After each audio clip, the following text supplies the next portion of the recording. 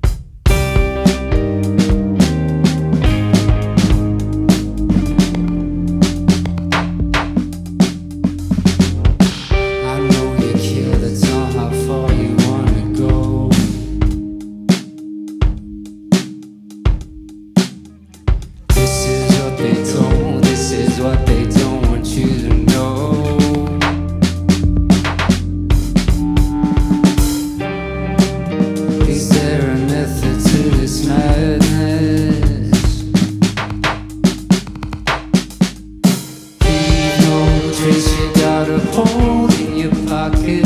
Look at your face, it's like you're staring down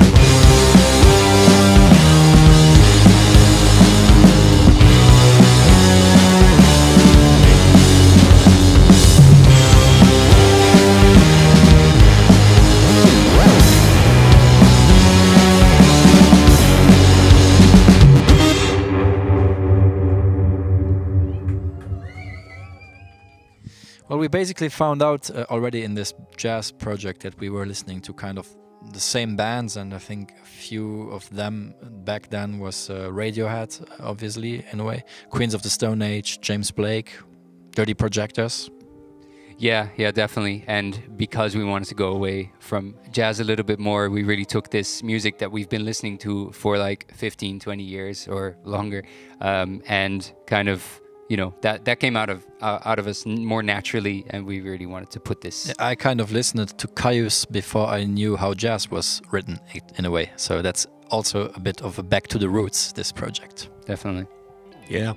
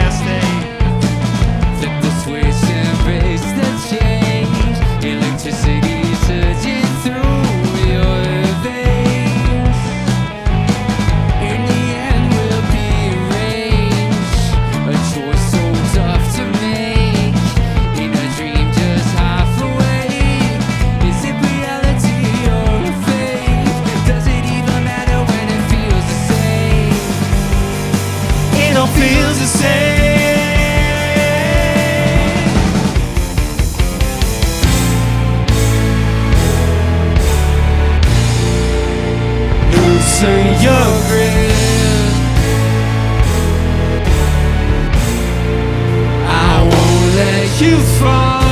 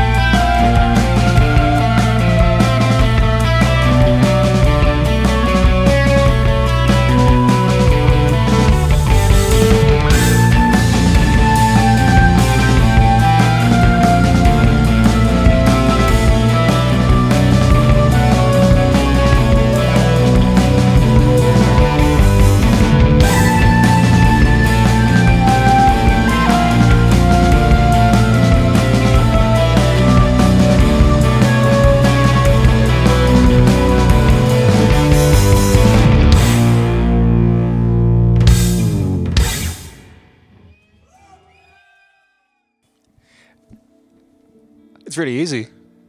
We've seen the big hall at Rock and we'll play there someday. Yeah, definitely. We we want to, you know, big halls is great, and and I think it's mostly um, showing our music and and connecting with more and more people um, is is what we really want. Uh, playing nice venues, playing as much as possible. You know, we're we're live musicians, and we want to play live, and we we love recording, we love writing, um, but then we really really want to show that you know uh, in a live situation, connect with people. Yeah, so the three point plan is the floor, then the club, and then the main hall. So let's make it happen over the next 10 years. I wanted to say see you in two years, you know, like this Oh. year floor, next year come. We'll see.